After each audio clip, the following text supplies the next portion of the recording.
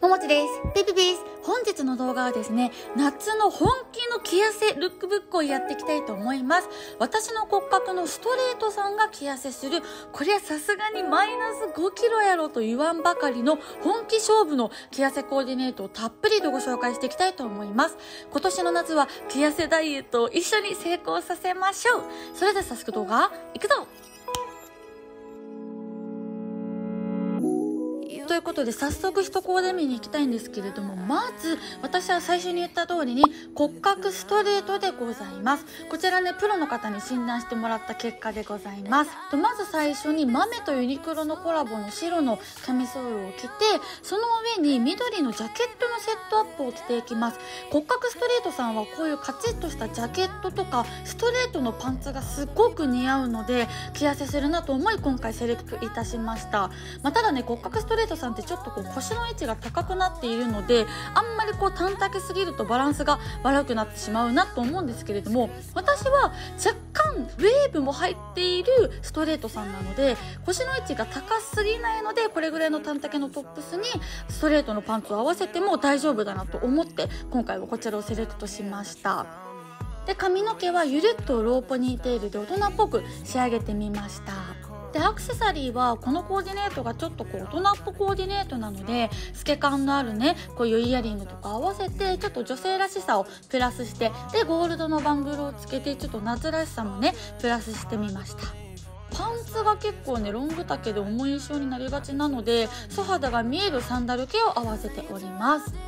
はい、ということでまず1コーデ目が完成です。骨格ストレートさんは先ほど言った通りにストレートのパンツがすごく得意なんですよね。ストレートにこうジャケット、カチッとした素材の張りがあるものとかがすごく得意になってくるので、このセットアップは骨格ストレートさん向けだなと思います。ただ、これ結構ジャケットが短丈になっているので、がっつり骨格ストレートさんだったら、もう少し長めの丈のジャケットでも相性的にはいいかなと思います。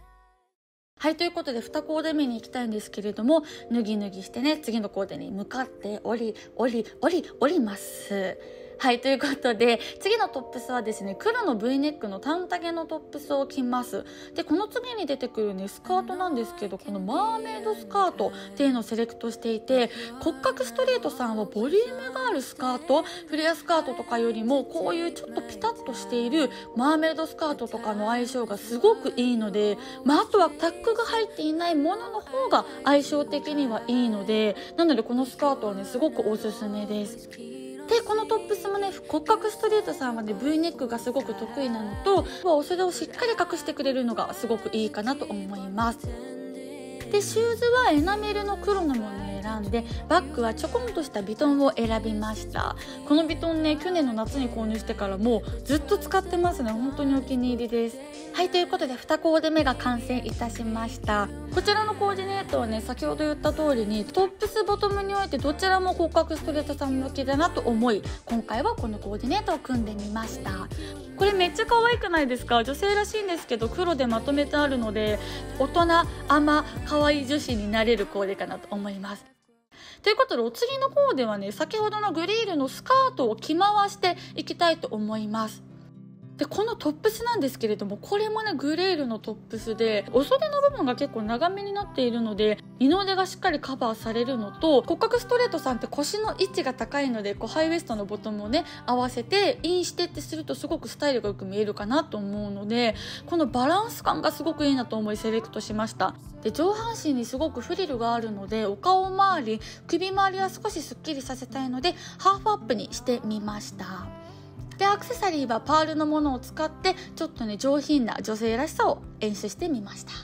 このパールのイヤリングめっちゃ可愛いよね。本当にお気に入りなんですよね。でシューズとバッグは白でまとめてさらに女性らしさをプラスしてみました。はいということで3コーデ目が完成でございます。2コーデ目のグレーのスカートを着回したコーディネートなんですけれどもトップスと小物を変えるだけで本当に全く違うコーデに見えてなんかそういうね着回し感も楽しんでいただければなと思います。まあ、今回はねハイウエストのスカートにトップスをインしたんですけれども私はそのウェーブが入っているのでこのコーディネートができるんだなと思うのでガチガチの骨格ストレートさんはもう少し腰の位置が低いアイテムを合わせるとさらにスタイルが綺麗に見えるかなと思います。はいということでお次ね3コーデ目なんですけれどもん？3コーデ目 ?4 コーデ目か ?3 つのこれ間違えちゃうのも4コーデ目だよね合ってるよねはいお次はですねこれも骨格ストレートさん大大大万歳コーデなんですけれども骨格ストレートさんはなんせ T シャツが大大大得意でございますでそしてこの丈ミニ丈のスカートがすごく得意なので骨格ストレートさんって太ももの部分がね結構ごわつきやすいんですよちょっと気になる太ももの部分を隠してそそれ以降の細い部分を全て出したっていうスカートのねあのシルエットになっております。でバッグと今回はねあの帽子を合わせてみたんですけれどもこのバッグねすごくカジュアルでお気に入りです。BP のバッグで2年前ぐらいに買いました。でこちらの帽子はですね首のね紐がついてるタイプのカジュアルなバケットハットで今回 T シャツを合わせたのでがっつりカジュアルに振るためにこの帽子を合わせております。で白靴下を履いてフィラーのスニーカーを履いてるんですけれどもこのね長い靴下を履いて厚底のスニーカーを履くシルエットも私すごくお気に入りでございます。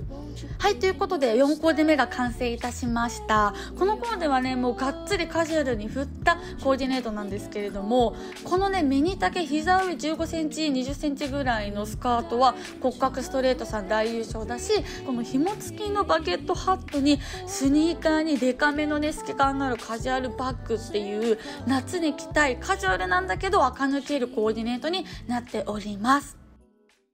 ということで5コーデ目なんですけれどもユニクロのグリーンの T シャツを次は着回していきたいと思います。そう今回はね1アイテムを少しずつこう着回してアイテムを変えるだけでこんだけコーデが変わるんだよっていうのも皆様にお見せできたなと思い今回はね着回しコーデにしております。でスカートは先ほどこうデニム生地のものだったんですけれども今回は黒の無地のスカートを合わせております。でウエストがちょっと大きかったのでベルトを締めております。でユニクロの白のカーディガンをたすき掛けをしてちょっとね印象をガラッと変えております。これ落としたのカバンちょっと見ないでって顔してるよね。はいということで5コーデ目の完成でございます。先ほどのコーディネートに比べて結構大人っぽい印象になったと思うんですけれどもグリーンの T シャツをねメインで使ってそれ以外のスカートバッグシューズを全て黒でまとめてあとはねそれだけだと結構暗い印象になってしまうので白のカーディガンをアクセントで使ったコーディネートでございます。これ何のポーズなの？イエイってしてるね。謎のあのガッツポーズをしておりましたね。はいということでお次6コーデ目に行きたいと思います。今回結構ねコーデ数多めにしてみたんですよ。どうかな？どうかな？ということでお次はグレールの白のブラウスにグレールのイエローのパンツを合わせるコーデなんですけれどもこのねイエローのパンツが本当当に骨格ストレートさん向きです。まあ、何かというと、まずストレートのパンツは骨格ストレートさんにすごくぴったりです。で、このパンツね、それプラスでタックがね、入っていないんですよ、ウエストの。なので骨格ストレートさん向きだなと思います。はい、これかき上げて、決め顔。はいはいはいはい。謎の、謎のシーンがあったんですけれども。で、バッグとシューズは黒でまとめております。はい、ということで6コーデ目の完成でございます。こちらのコーディネートは、あの、最初に使ったね、グレールのブラウスのブラウンのカラーの色違いの白を使ったコーディネートで、とにかくこのパンツが本当にストレートさん向きなので、グレールですごく安くゲットできるし、形も綺麗だし、色も可愛いので、本当に、本当におすすめのコーディネートでございます。これ、カーモン、ベイビー、アメリカやってる？いやすごい笑ってグーってすごい笑ってるよねはーい。ということでお次のコーディネートはですねグレールの先ほどのイエローのパンツを着回していきたいと思います。先ほどのコーディネートは白のブラウスを合わせてちょっと大人可愛い印象だったんですけれども今回は白の T シャツを合わせてみました。で T シャツのねカジュアル感に合わせて100均の黒ピンでね前髪のね両サイドをパチンパチンと留めております。この髪型本当に T シャツとかカジュアルなコーディネートにすごく相性がいいのですごくおすすめです。待って今なんか一瞬万歳してなかったなんかイエイイエイってしてたよね。な何なんだろう？よくわからんね。でバッグとシューズは黒でまとめております。はいということでラストのコーディネートが完成です。これはね先ほどのコーディネートに比べてきれいめではなくカジュアルにこのパンツを合わせたコーディネートになります。ねこれ思い出した。ルカルカナイトフィーバーってやってるんだ。ルカルカナイトフィーバー踊ってるのこれ。ルカルカ私踊れるんですよサビ。実は。謎にね。はい。ということであっという間に着痩せコーデ終わってしまったんですけれどもいかがでしたでしょうか？私がね本気で考える着痩せコーデだったので骨格ストレートさんはぜひぜひ参考にしていただいて今年の夏はもう可愛いコーデで着痩せして夏を乗り越えよう。ということで今日も見てくれて本当に本当にありがとうございました。それではまた次の動画でお会いしますバイバーイ。